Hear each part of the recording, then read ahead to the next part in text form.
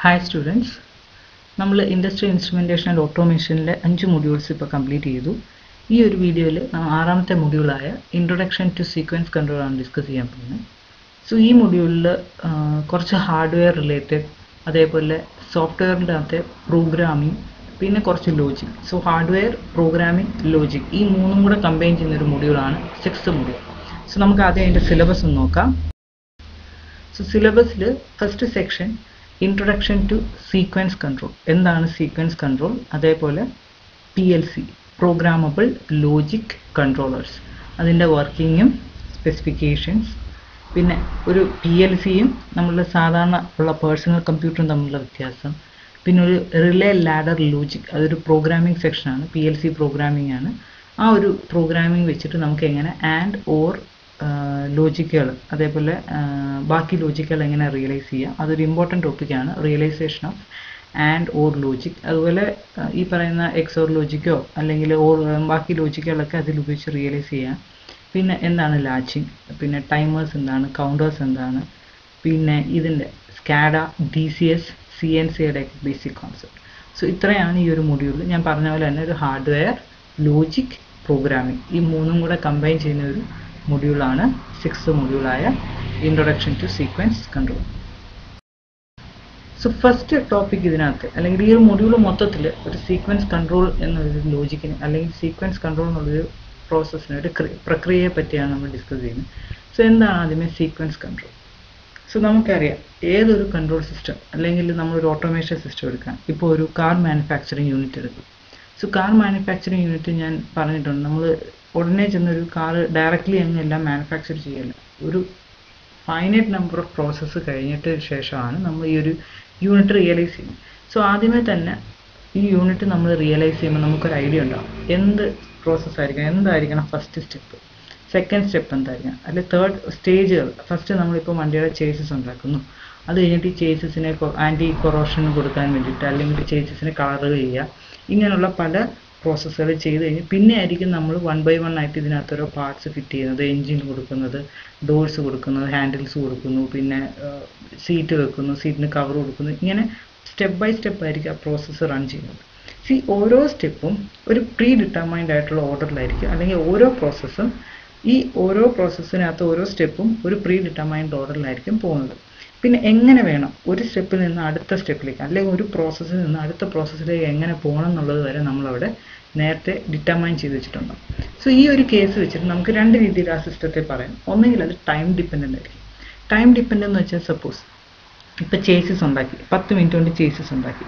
So പത്ത് minute കൊണ്ട് chases ഉണ്ടാക്കിയാൽ പതിനൊന്നാമത്തെ മിനിറ്റിൽ ആ ചേസസിനെ നമ്മൾ ഒരു സൊല്യൂഷനിലേക്ക് ഡിപ്പ് ചെയ്യാൻ പോവുക. അപ്പോൾ പതിനൊന്നാമത്തെ മിനിറ്റ് എന്ന് പറഞ്ഞാൽ അപ്പോൾ പത്ത് എന്ന് പറഞ്ഞാൽ പത്ത് മിനിറ്റ് സീറോ ടു ടെൻ എന്ന് പറയുന്ന അത്രയും സമയം അവിടെ ചേസസ് ഉണ്ടാക്കുക അത് ടൈം ഡിപ്പെൻഡ് ആണ്. അപ്പോൾ ഇലവൻത്ത് മിനിറ്റിൽ നോക്കി കഴിയുമ്പോൾ അത് കളറിലേക്ക് അല്ലെങ്കിൽ ഒരു സൊല്യൂഷനിലേക്ക് ഡിപ്പ് ചെയ്യാൻ പോവുകയാണ്. സോ ഇതാണ് ടൈം ഡിപ്പെൻഡൻസി എന്ന് പറയുന്നത്. ആ ഒരു കറക്റ്റ് ടൈമിങ്ങിൽ തുടങ്ങി ഇത്ര ടൈം ഇലാപ്സ് ചെയ്ത് കഴിയുമ്പോൾ എന്ത് പ്രോസസ്സ് ആയിരിക്കണം ചെയ്യുന്നുള്ളത് നമ്മൾ പ്രോഗ്രാം ചെയ്തേക്കാം. അത് ഒരു കേസ് ഇനി രണ്ടാമത്തെ രീതി എന്ന് വെച്ച് കഴിഞ്ഞാൽ എക്സ്റ്റേണൽ ഈവന്റ് ഡിപ്പെൻഡന്റ് ആക്കാം. എക്സ്റ്റേണൽ ഇവന്റ് ഡിപ്പെൻഡന്റ് ഉദ്ദേശിക്കുന്നത് എത്രയേ ഉള്ളൂ? അതായത് എപ്പോഴാണോ അതിന് വേണ്ട സാഹചര്യം എല്ലാം വരുന്നത് അപ്പോൾ അതങ്ങ് ചെയ്യുക. അതായത് ഇപ്പോൾ ചേസസ് ഉണ്ടാക്കി ഇങ്ങനെ വെച്ച് നോക്കിയിരിക്കുക. അപ്പോൾ ചേസസ് ഉണ്ടാക്കി ഇങ്ങനെ ഇരിക്കുന്ന സമയത്താണ് നമ്മളുടെ കളറും അല്ലെങ്കിൽ ആന്റി കൊറോഷൻ എല്ലാം കൂടെ സൊല്യൂഷൻ സോൾവെന്റ് ആക്കി ഇങ്ങനെ വെച്ചിട്ടുണ്ട്. അപ്പോൾ ഉടനെ ചെന്ന് ചേസസ് അതിൽ മുക്കുക. ഇതായത് നമ്മുടെ കണ്ടീഷൻസ് ഇല്ല അതായത് ഈ പറയുന്ന ഇൻപുട്ട് സിഗ്നലുകൾ അല്ലെങ്കിൽ ബാക്കി കൺട്രോൾ സിഗ്നലുകൾ ഇങ്ങനെയുള്ള കണ്ടീഷൻസ് എല്ലാം സെറ്റായി കഴിഞ്ഞു കഴിഞ്ഞാൽ ആ പ്രോസസ്സ് അതിന്റെ അടുത്ത പ്രോസസ്സിലേക്ക് സ്വിച്ച് ചെയ്യും. സോ ഒന്ന് ടൈം ഡിപ്പെൻഡന്റ് ആയിട്ടും ഒന്ന് എക്സ്റ്റേണൽ ഇവന്റ് ഡിപ്പെൻഡന്റ് ആയിട്ടും. ഇങ്ങനെ രണ്ട് സെക്ഷനായിട്ട് വരും. അല്ലെങ്കിൽ ഇതിന്റെ രണ്ടിന്റെയും കൂടെ കോമ്പിനേഷൻസ് നമുക്ക് ഉപയോഗിക്കാം. ഇനി ഇതിലും കോംപ്ലക്സ് ആയിട്ടുള്ള സിസ്റ്റംസ് ഉണ്ട്. പക്ഷേ ബേസിക് ലോജിക്കുകൾ ഇങ്ങനെ ആയിരിക്കും. ഒന്നെങ്കിൽ ടൈം ഡിപ്പെൻഡന്റ് ആയിട്ട് നമ്മൾ ചെയ്യും. അല്ലെങ്കിൽ ഈവൻ ഡിപ്പെൻഡന്റ് ആയിട്ട് ചെയ്യും. ഇനി നമ്മൾ നോക്കിക്കഴിഞ്ഞാൽ നമ്മൾ ഫസ്റ്റ് മൊഡ്യൂളിൽ പഠിച്ചിരുന്നു. എന്തായിരുന്നു ഒരു പ്രോസസ് കൺട്രോളും എന്താണ് എന്റെ ബ്ലോക്ക് ഡയഗ്രാം അങ്ങനെ കുറച്ച് കാര്യങ്ങൾ. അപ്പോൾ പ്രോസസ്സ് എന്ന് പറഞ്ഞാൽ ഞാൻ പറഞ്ഞു അതൊരു മാനുഫാക്ചറിങ് പ്രോസസ്സ് നമുക്ക് സിംപ്ലി പറയുന്ന ഒരു മാനുഫാക്ചറിങ് യൂണിറ്റ് അല്ലെങ്കിൽ ഒരു മാനുഫാക്ചറിങ് പ്ലാന്റിനെ നമ്മൾ വിളിക്കുന്ന പേരാണ് പ്രോസസ്സ് എന്നുള്ളത് അപ്പോൾ ഈ പറഞ്ഞ പോലെ തന്നെ ഒരു പ്രോസസ്സിനകത്ത് ധാരാളം വേരിയബിൾസ് ഉണ്ട്. വേരിയബിൾസ് എന്ന് വെച്ച് കഴിഞ്ഞാൽ ഒരു സ്റ്റേജിന്റെ ഔട്ട്പുട്ട് ആവാം അല്ലെങ്കിൽ ഒരു സ്റ്റേജിൽ നിന്നുള്ള ഫീഡ്ബാക്ക് ആവാം. ഇങ്ങനെ പല വേരിയബിൾസ് അതിനകത്തുണ്ടാവും അപ്പോൾ ഔട്ട്പുട്ട് ഒരു വേരിയബിൾ ആണ്. അതേപോലെ ഫീഡ്ബാക്കുകൾ വേരിയബിൾസ് ആണ്. അപ്പോൾ ഈ വേരിയബിൾസ് ഒക്കെ നമുക്ക് കിട്ടുന്ന ഔട്ട്പുട്ടിൽ ഇപ്പം വേരിയബിൾസ് എടുക്കുമ്പോൾ ഒരു പ്രശ്നം വരുന്നത് വെച്ച് കഴിഞ്ഞാൽ വേരിയബിൾസിന് രണ്ട് രീതിയിൽ ഒക്കെ അറിയാം ഒന്നെന്ന് വെച്ച് കഴിഞ്ഞാൽ analogue variables variables analogue nature ആയി കഴിഞ്ഞാൽ പ്രശ്നം എന്ന് വെച്ച് കഴിഞ്ഞാൽ നമ്മളുടെ കൺട്രോൾ സിസ്റ്റംസ് എല്ലാം നമ്മൾ ഓൾറെഡി ഒരു പ്രോഗ്രാമിംഗ് അല്ലെങ്കിൽ ഒരു ലോജിക് ഉപയോഗിച്ചിട്ട് പ്രോഗ്രാം ചെയ്ത് സെറ്റ് ചെയ്ത് വെച്ചിരിക്കുന്ന കാര്യങ്ങളാണ്. അപ്പോൾ എൻ നമ്പർ ഓഫ് വാല്യൂസ് അവിടെ ഉണ്ടെന്നുണ്ടെങ്കിൽ നമുക്ക് ഡിസൈൻ പ്രോസസ്സ് വളരെ പാടായിരിക്കും. അതേസമയം വാല്യൂസ് ഒക്കെ നമുക്കറിയാം. ഇപ്പോൾ ഒരു ഔട്ട്പുട്ട് ഇപ്പോൾ ബൈനറി ആണെന്ന് ഇരിക്കട്ടെ സോ ബൈനറി ആകുമ്പോൾ നമുക്കറിയാം ഔട്ട്പുട്ട് സീറോ അല്ലെങ്കിൽ വണ്ണേ ആവത്തുള്ളൂ. അങ്ങനെയാണെന്നുണ്ടെങ്കിൽ നമുക്ക് അതിനെ വെച്ച് പ്രോഗ്രാം ചെയ്യാൻ എളുപ്പമായിരിക്കും. കാര്യം ഒന്നെങ്കിൽ സീറോ വരുമ്പോൾ എന്ത് ചെയ്യണം? അല്ലെങ്കിൽ വൺ വരുമ്പോൾ എന്ത് ചെയ്യണം? ഈ രണ്ട് കേസ് എടുത്താൽ മതി. അല്ല ഇപ്പോൾ സീറോ തൊട്ട് ടെൻ വരെയാണ് വരുന്നത്. അപ്പോഴും നമുക്ക് എന്ത് ചെയ്യാം? ഈ പത്ത് zero one two three four five six seven eight nine ten ഈ പത്ത് കേസ് ഈ പതിനൊന്ന് കേസുകൾക്കുള്ള ഓരോ പ്രോഗ്രാം നമുക്ക് ചെയ്യാൻ പറ്റും. പക്ഷേ ഇവിടെ അനലോഗ് വേരിയബിൾസ് വരുന്നെന്നുണ്ടെങ്കിൽ നമുക്കവിടെ പ്രോഗ്രാം ചെയ്യാൻ അല്ലെങ്കിൽ ആ ഒരു സിസ്റ്റം റിയലൈസ് ചെയ്യാൻ ബുദ്ധിമുട്ടായതുകൊണ്ട് നമ്മൾ കൂടുതലും സിസ്റ്റംസ് എല്ലാം ഒരു പർട്ടിക്കുലർ ഫൈനൈറ്റ് ആയിട്ടുള്ള വാല്യൂസ് അല്ലെങ്കിൽ ഒരു സീക്വൻസിനകത്തുള്ള വാല്യൂസ് ആയിരിക്കും നമ്മൾ എടുക്കാറ്. അപ്പോൾ ഇപ്പോൾ ബൈനറി ലോജിക് എന്ന് പറഞ്ഞു കഴിഞ്ഞാൽ ഇപ്പോൾ ഞാൻ പറഞ്ഞു ഒരു ബൈനറി ലോജിക്കാണ് നമ്മൾ യൂസ് ചെയ്യുന്നത്. അല്ലെങ്കിൽ അങ്ങനെ ഒരു സീക്വൻസ് സീറോയും വണ്ണും മാത്രമുള്ള ഒരു സീക്വൻസ് ആണ് നമ്മൾ വേരിയബിൾസിന് സെറ്റ് ചെയ്യാൻ വെക്കുന്നതെങ്കിൽ അവിടെ നമുക്ക് എന്ത് ചെയ്യാം? ഒന്നെങ്കിൽ ഇപ്പോൾ ഓൺ ചെയ്യുക അല്ലെങ്കിൽ ഓഫ് ചെയ്യുക സ്വിച്ചസിനെ ഓൺ ചെയ്യുക ഓഫ് ചെയ്യുക അതാകുമ്പോൾ സീറോ ആകുമ്പോൾ ഓൺ ചെയ്യുക അല്ലെങ്കിൽ വൺ ആകുമ്പോൾ ഓൺ ചെയ്യുക സീറോ ആകുമ്പോൾ ഓഫ് ചെയ്യുക എന്നുള്ളൊരു കണ്ടീഷനിൽ എത്താം. ഇനി അല്ലെങ്കിൽ സീറോ ആയി കഴിഞ്ഞാൽ മോട്ടറിനെ ഓഫ് ചെയ്യുക വൺ ആയി കഴിഞ്ഞാൽ മോട്ടറിനെ ഓൺ ചെയ്യുക അതുപോലെ വാൽവ് സീറോ ആയി കഴിഞ്ഞാൽ വാൽവ് ക്ലോസ് ചെയ്യുക വൺ ആകുമ്പോൾ ഓപ്പൺ ചെയ്യുക അതായത് നമുക്കിവിടെ പ്രോഗ്രാം ചെയ്യാനുള്ള ഒരു എന്താ ഈസിനെസ് കൂടുക. അതേസമയം ഇപ്പോൾ നമുക്ക് പല വാല്യൂസ് വന്നു. അപ്പോൾ നമുക്ക് മോട്ടറിന് എന്ത് ചെയ്യണം എന്നുള്ള പെട്ടെന്ന് കൺഫ്യൂസ്ഡ് ആയിപ്പോയി സോ ഇങ്ങനെയുള്ള കേസുകളിൽ നമ്മൾ മാക്സിമം വേരിയബിൾസിന്റെ വാല്യൂ ഫൈനൈറ്റ് ആയിട്ട് ഒരു പർട്ടിക്കുലർ സെറ്റിനകത്തേക്ക് ഒതുക്കുന്നു. അതിനെയാണ് നമ്മൾ സീക്വൻസ് അല്ലെങ്കിൽ ലോജിക് കൺട്രോൾ സിസ്റ്റംസ് എന്ന് പറയുന്നത്. അതായത് ഔട്ട്പുട്ടിനെ നമുക്ക് അറിയാവുന്ന അല്ലെങ്കിൽ നമുക്ക് പ്രോസസ്സ് ചെയ്യാൻ എളുപ്പമായിട്ടുള്ള ഒരു സീക്വൻസിലേക്ക് എത്തിക്കുന്നതിനെയാണ് സീക്വൻസ് അല്ലെങ്കിൽ ലോജിക് കൺട്രോൾ സിസ്റ്റംസ് എന്ന് പറയുന്നത്. നമുക്ക് ഒന്നുകൂടി ഡീറ്റെയിൽ ആയിട്ട് അത് നോക്കാം.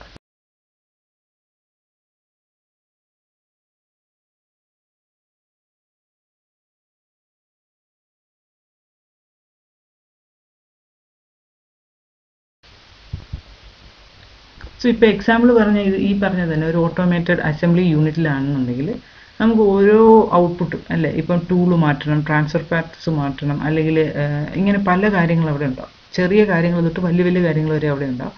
സോ ഇതിന്റെ ഓരോന്നിന്റെയും കൺട്രോൾ ചെയ്യുന്ന കാര്യങ്ങളായാലും അതിന്റെ ഔട്ട്പുട്ടിന്റെ കാര്യങ്ങളായാലും സെൻസറിന്റെ കാര്യങ്ങളായാലും ഒക്കെ നമുക്കറിയാവുന്ന ഒരു ഫൈനൈറ്റ് സെറ്റിനകത്തേക്ക് നമ്മൾ കൊണ്ടെത്തിക്കും. എന്നിട്ടായിരിക്കും ഈ ഒരു കൺട്രോൾ സിസ്റ്റം അല്ലെങ്കിൽ ഈ ഒരു ലോജിക്കിലേക്ക് നമ്മൾ ഇംപ്ലിമെന്റ് ചെയ്യാൻ പോകുന്നത്. അപ്പോൾ നമുക്ക് അതിന്റെ ലോജിക്ക് ചെയ്യുമ്പോഴും പ്രോഗ്രാം ചെയ്യുമ്പോഴും നമുക്ക് കുറച്ചുകൂടെ എഫക്റ്റീവായിട്ടും എഫിഷ്യന്റായിട്ടും കൺട്രോൾ ചെയ്ത് നമുക്ക് ചെയ്യാൻ പറ്റും. ഇനി കുറച്ചുകൂടെ ഡീറ്റെയിൽ ആയിട്ട് നമ്മളൊരു പ്രോഗ്രാമിംഗ് അല്ലെങ്കിൽ ഒരു പ്രോഗ്രാമർ ഒരു ലോജിക് പ്രോഗ്രാമറിന്റെ വ്യൂ പോയിന്റിലായിരിക്കും ഇനി ഈ മോഡ്യൂളിലെ ഓരോ പോർഷൻസും നമ്മൾ ചെക്ക് ചെയ്യുന്നത്. സോ ഇനി ഒരു പ്രോഗ്രാം ലോജിക് വ്യൂവിൽ എന്താണ് sequence control so sequence control refers to user actions and computer logic that initiate, interrupt or terminate transactions. Transactions എന്ന് ഉദ്ദേശിക്കുന്നത് ഓരോ ഓരോരോ ഓപ്പറേഷൻസ് ആണ് അതായത് ഒരു ഓപ്പറേഷൻ സ്റ്റാർട്ട് ചെയ്യാനും സ്റ്റോപ്പ് ചെയ്യാനും അതിനെ ഇടയ്ക്ക് ഇൻട്രപ്റ്റ് ചെയ്യാനും വേണ്ട യൂസർ ആക്ഷൻസും കമ്പ്യൂട്ടർ ലോജിക്കിന്റെ ഒരു കൂട്ടത്തെയാണ് നമ്മൾ സീക്വൻസ് കൺട്രോൾ എന്ന് പറയുന്നത് സീക്വൻസ് കൺട്രോൾ എന്ന് വെച്ച് കഴിഞ്ഞാൽ യൂസർ ആക്ഷൻസും പ്ലസ് കമ്പ്യൂട്ടർ ലോജിക് യൂസറിന്റെതായുള്ള രീതിയിലുള്ള പാർട്സും ഉണ്ട്. അതുപോലെ കമ്പ്യൂട്ടർ ലോജിക് എന്നുള്ളൊരു സെക്ഷൻ ഉണ്ട്. അപ്പോൾ യൂസറിന്റെ ആക്ഷൻസും കമ്പ്യൂട്ടർ ലോജിക്കും കൂടെ കൂടി ചേർന്ന ഒരു സെക്ഷനാണ് സീക്വൻസ് കൺട്രോൾ അതിന്റെ ഉദ്ദേശം ഇത്രയേ ഉള്ളൂ. നമുക്കൊരു ഓപ്പറേഷനെ ഇനിഷ്യേറ്റ് ചെയ്യാനും ഇൻട്രപ്റ്റ് ചെയ്യാനും ടെർമിനേറ്റ് ചെയ്യാനും കഴിയണം. അതുമാത്രമല്ല ഒരു പർട്ടിക്കുലർ ഓപ്പറേഷൻ കഴിഞ്ഞ് കഴിഞ്ഞാൽ നെക്സ്റ്റ് ഓപ്പറേഷൻ സ്റ്റാർട്ട് ആവണം. അല്ലെങ്കിൽ ഒരു ട്രാൻസാക്ഷനിൽ നിന്ന് എങ്ങനെ അടുത്ത ട്രാൻസാക്ഷനിലോട്ട് പോകണം. ഇനി അത് തിരിച്ചു പോകേണ്ട ആവശ്യമുണ്ടോ. ഇങ്ങനെയുള്ള കാര്യങ്ങളെല്ലാം ചെക്ക് ചെയ്യാനും സീക്വൻസ് കൺട്രോൾ ആയിരിക്കും നമ്മൾ യൂസ് ചെയ്യുന്നത്. ഇനി main object general design objectives എന്ന് വെച്ച് കഴിഞ്ഞാൽ ഒന്ന് consistency of control options consistency എന്ന് വെച്ച് കഴിഞ്ഞാൽ നമുക്ക് എത്ര മാത്രം ഈസായിട്ട് തന്നെ കൺട്രോൾ ചെയ്യാൻ പറ്റും എന്നുള്ളതാണ്. അതായത് കൺട്രോളിംഗ് എന്ന് പറയുമ്പോൾ പല രീതിയിൽ നമ്മൾ പഠിച്ചിട്ടുണ്ട്. പല ആക്ച്വേറ്റേഴ്സ് ഉണ്ട് പല കൺട്രോളേഴ്സ് ഉണ്ട്. സോ ഇതിൽ ഏത് ഉപയോഗിച്ചിട്ട് നമുക്ക് എഫക്റ്റീവായിട്ട് ചെയ്യാൻ പറ്റും. ഇനി ഇത് ചെയ്യുന്നത് മാത്രമല്ല നമ്മൾക്ക് മൊത്തത്തിൽ ആ സിസ്റ്റത്തിൽ എഫിഷ്യന്റ് ആയിരിക്കണം എഫക്റ്റീവ് ആയിരിക്കണം. അതേപോലെ തന്നെ എത്രമാത്രം കൺട്രോൾ ആക്ഷൻസ് കുറയ്ക്കാൻ പറ്റുമോ അത്രയും നമുക്ക് അതായത് നമ്മുടെ ഇടപെടൽ യൂസ് ഈ കൺട്രോൾ ചെയ്യാൻ കഴിഞ്ഞാൽ ഒബ്വിയസ്ലി അത് ഒരു യൂസറിന്റെ ഇന്റർഫേസിങ് തന്നെയായിരിക്കും. പക്ഷേ യൂസർ ഒരു പ്രോഗ്രാം വെച്ചിട്ട് അല്ലെങ്കിൽ ഒരു ലോജിക് ഉപയോഗിച്ചിട്ടായിരിക്കും അവിടെ കൺട്രോളിങ് നടത്തുന്നത് സോ നമുക്ക് എത്രമാത്രം കൺട്രോൾ കുറയ്ക്കാൻ പറ്റുമോ അപ്പം നമ്മളിലുള്ള ബേർഡൻ യൂസർ എൻഡിലുള്ള ബേർഡൻ അവിടെ കുറയാണ്. അത്രമാത്രം നമുക്ക് കുറച്ച് ലോജിക് പ്രോഗ്രാമിംഗ് ചെയ്താൽ മതി. അതുമാത്രമല്ല ഈ ഒരു സീക്വൻസിന്റെ കൺട്രോളിന്റെ ഫ്ലെക്സിബിലിറ്റി ഫ്ലെക്സിബിലിറ്റി എന്ന് വെച്ച് കഴിഞ്ഞാൽ നമ്മളിപ്പം ഒരു പർട്ടിക്കുലർ സപ്പോസ് ഞാനൊരു കാർ മാനുഫാക്ചറിങ് യൂണിറ്റ് എടുത്തു. ഞാനിപ്പോൾ മാരുതിയുടെ ഇപ്പം മാരുതി എന്ന് പറഞ്ഞാൽ ബേസിക് മോഡൽ ഉണ്ടാക്കി. ഇതിൽ നിന്ന് എനിക്ക് സെയിം ലോജിക് അല്ലെങ്കിൽ സെയിം പ്രോഗ്രാം ഉപയോഗിച്ചിട്ട് എനിക്ക് ഓൾട്ടോയിലേക്ക് മാറണം എന്നുണ്ടെങ്കിൽ ആ പ്രോഗ്രാം ഫ്ലെക്സിബിൾ ആയിരിക്കണം. എങ്കിൽ മാത്രമേ നമ്മളുടെ പല ആവശ്യങ്ങൾക്ക് ഇപ്പോൾ പല സൈസ് വണ്ടികൾ ഉണ്ടാക്കണം എന്നുണ്ടെങ്കിൽ ഈ ഒരു പ്രോഗ്രാമിൽ എന്തെങ്കിലും അഡ്ജസ്റ്റ്മെന്റ് വരുത്തിക്കഴിഞ്ഞാൽ ഞാൻ എനിക്ക് പറയാം ആ ഒരു ഞാൻ ഉപയോഗിച്ച സീക്വൻസ് കൺട്രോൾ അവിടെ ഫ്ലെക്സിബിൾ ആണെന്ന് പറയാം. സോ ഇങ്ങനെയുള്ള ചില കാര്യങ്ങളാണ് നമുക്ക് മെയിനായിട്ട് നോക്കുന്നത് അപ്പം ബേസിക്കലി യൂസർ ആക്ഷൻസും അതേപോലെ കമ്പ്യൂട്ടർ ലോജിക്കൂടെ ചേർന്നിട്ടാണ് സീക്വൻസ് കൺട്രോൾ ഫോം ചെയ്യുന്നത്. അപ്പോൾ ബേസിക് സീക്വൻസ് കൺട്രോളിന്റെ എന്താണ് ഡ്യൂട്ടി എന്ന് വെച്ചാൽ ഒന്ന് നമുക്ക് എന്ത് ഓപ്പറേഷനാണ് നടത്തുന്നത് അതിനെ ഇനിഷ്യേറ്റ് ചെയ്യാനും അതിനെ ഇൻട്രപ്റ്റ് ചെയ്യാനും അതേപോലെ ടെർമിനേറ്റ് ചെയ്യാനും കഴിയണം. പിന്നെ ഈ എടുക്കുന്ന ഒരു സീക്വൻസ് കൺട്രോൾ എന്ന് വെച്ച് കഴിഞ്ഞാൽ എല്ലാം ക്ലിയർലി ഡിഫൈൻ ആയിരിക്കണം. അതായത് ഒരു ട്രാൻസാക്ഷൻ കഴിഞ്ഞാൽ എങ്ങനെ അടുത്ത ട്രാൻസാക്ഷനിലേക്ക് പോകണം അതേപോലെ ഈ ഒരു ഓപ്പറേഷൻ നടത്തിയാൽ ഒരു പ്രോസസ്സ് അവിടെ കഴിഞ്ഞു ആ പ്രോസസ്സ് കംപ്ലീറ്റ് ആയോ? ഇതിന്റെ ഔട്ട്പുട്ട് നമ്മൾ ഉദ്ദേശിച്ച മാതിരി ആയോ ഇതെല്ലാം ചെക്ക് ചെയ്യുന്നത് സീക്വൻസ് കൺട്രോൾ ഉപയോഗിച്ചിട്ടായിരിക്കും. പിന്നെ അതുമാത്രമല്ല നമ്മൾ ഉപയോഗിക്കുന്ന കൺട്രോൾ ആക്ഷൻസ് എഫക്റ്റീവ് ആയിരിക്കണം.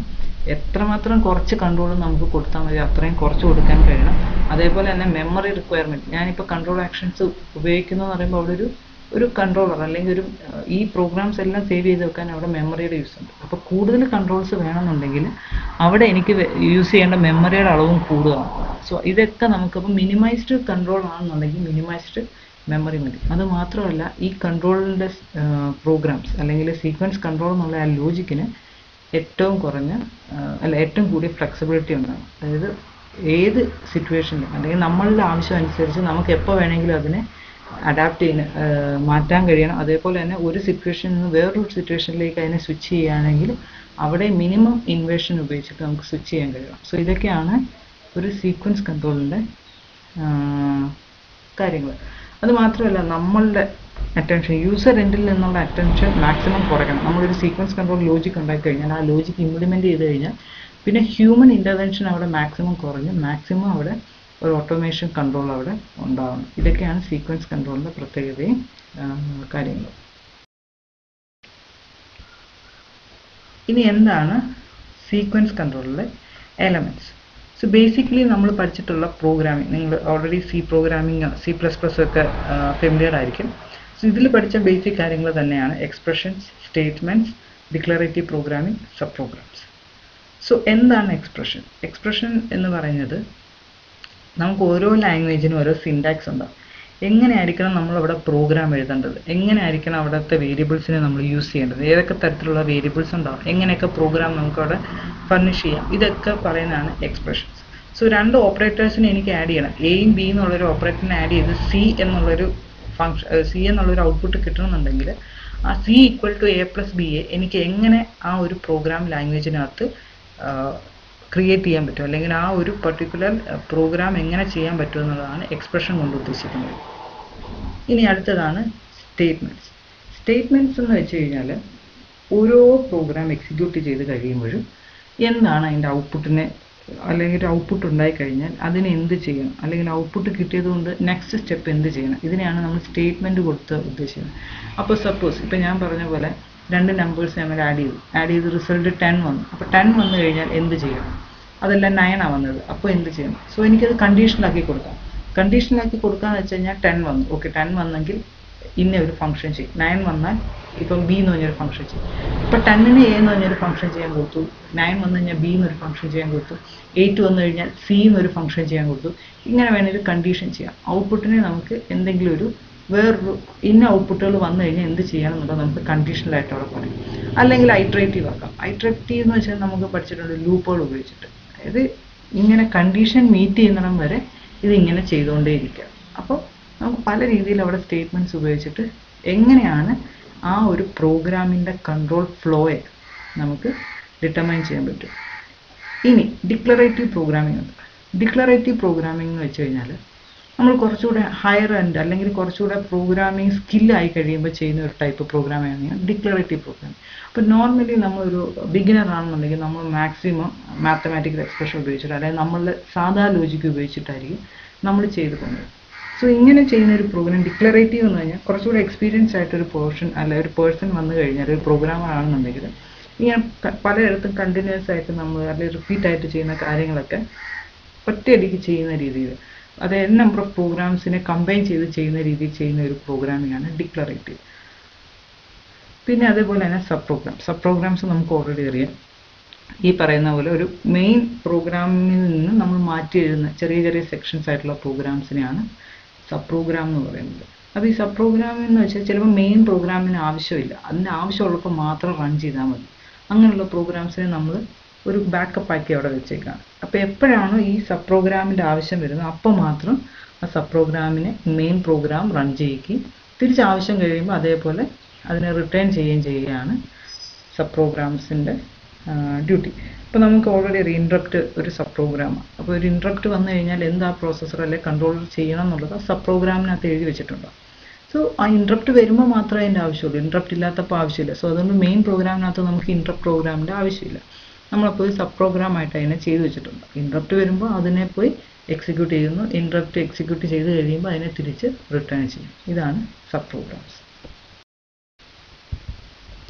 ഇനി ക്ലാസിഫിക്കേഷൻ ഓഫ് സീക്വൻസ് കൺട്രോൾ നമ്മൾ ചെറിയ രണ്ട് ക്ലാസിഫിക്കേഷനെ പറ്റി പറയുകയാണ് സീക്വൻസ് കൺട്രോളിന്റെ ഒന്ന് ഇംപ്ലിസിറ്റും ഒന്ന് എക്സ്പ്ലിസിറ്റും സോ ഇംപ്ലിസിറ്റ് എക്സ്പ്ലിസിറ്റ് എന്ന് വെച്ച് കഴിഞ്ഞാൽ ഒരു ചെറിയ വ്യത്യാസമേ ഉള്ളൂ. അതായത് ഇംപ്ലിസിറ്റ് എന്ന് വെച്ച് കഴിഞ്ഞാൽ രണ്ടിലും ഇംപ്ലിസിറ്റിലാണെങ്കിലും എക്സ്പ്ലിസിറ്റിലാണെങ്കിലും ഓൾറെഡി പ്രോഗ്രാം ലാംഗ്വേജ് ഉപയോഗിച്ചിട്ട് നമുക്ക് വേണ്ട എല്ലാ സ്ട്രക്ചേഴ്സും അതിനകത്ത് ഉണ്ടായിട്ടുണ്ടാവും. നമ്മളത് ചെന്ന് ഓരോ സ്ട്രക്ചർ ബൈ സ്ട്രക്ചർ ആയിട്ട് എടുക്കുക അല്ലെങ്കിൽ നമുക്ക് വേണ്ട കാര്യങ്ങളൊക്കെ അതിനകത്തുണ്ടാവും.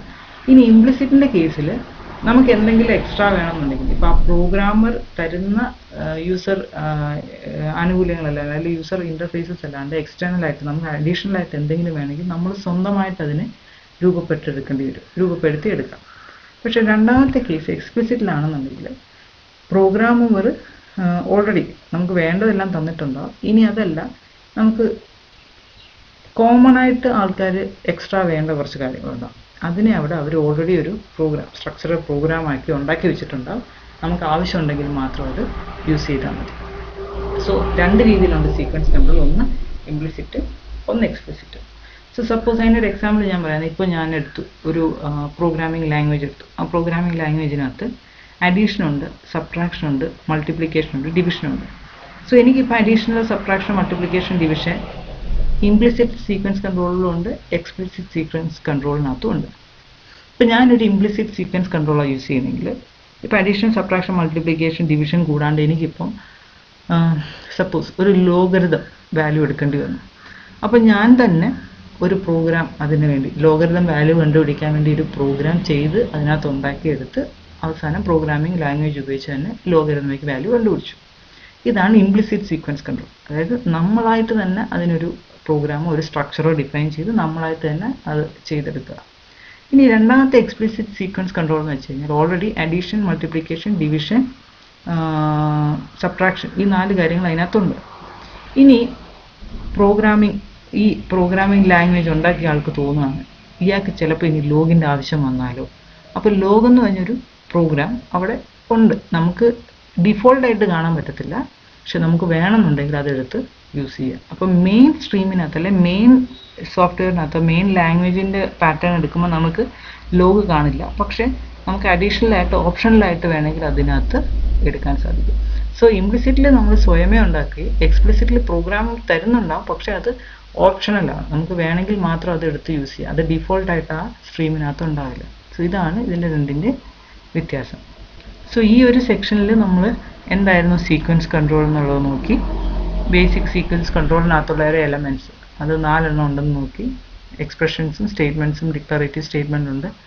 പിന്നെ ഏറ്റവും ഫൈനലായിട്ട് നമ്മൾ എന്താ ക്ലാസിഫിക്കേഷൻ ഓഫ് സീക്വൻസ് കൺട്രോൾ ഇംപ്ലിസിറ്റും എക്സ്പ്ലിസിറ്റും സോ ഇത്രയും കാര്യങ്ങളാണ് ഈ ഇതിന്റെ ഫസ്റ്റ് ഇൻട്രൊഡക്ഷൻ ടു സീക്വൻസ് കൺട്രോളിനകത്തുള്ളത് സോ മനസ്സിലായെന്ന് വിശ്വസിക്കുന്നു. അടുത്ത വീഡിയോയിൽ നമുക്ക് പി എൽ സീസിനെ പറ്റി ഡിസ്കസ് ചെയ്യാം.